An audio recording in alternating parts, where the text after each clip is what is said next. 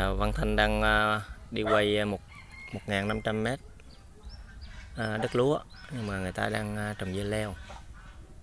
Người ta kêu bán bảy trăm rưỡi thì à, trên đường này đi tới đó chắc khoảng à, à, chừng 200 mét á.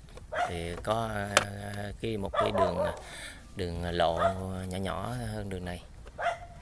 Thì lộ này lộ xe tải được nhưng mà đường kia thì đi vô khoảng chừng à, trăm mét xe máy.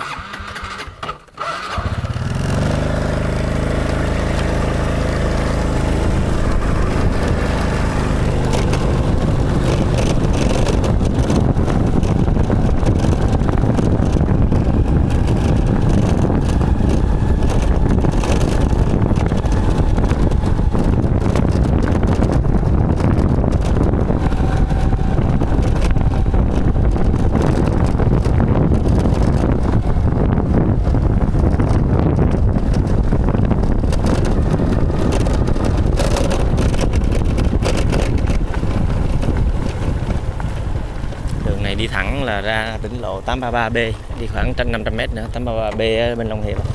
Còn đi, mình đi qua cầu này cái cầu này xe máy đi thôi.